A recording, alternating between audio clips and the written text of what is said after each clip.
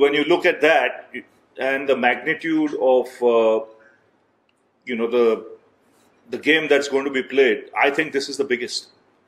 You know, if not uh, the biggest ever, because it's the toughest form of the game.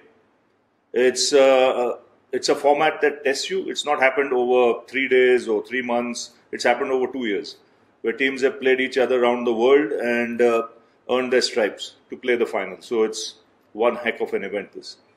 Yeah, I agree with the same. Um, I think this holds a lot of value. Um, you know, especially it this being the first of its kind, um, and in the toughest format, as Ravi mentioned, all of us uh, take a lot of pride in playing Test cricket, um, and the way we have progressed as a side um, is an example of what Test cricket means to us. So, for all of us as a unit, uh, those who have been part of the Test side for many years, this is like an accumulation of all the hard work of not just the duration of the championship, but of the last five, six years since the time we started really coming up the ranks and building as a side. And we just, we're just very, very happy to have the opportunity to play the finals.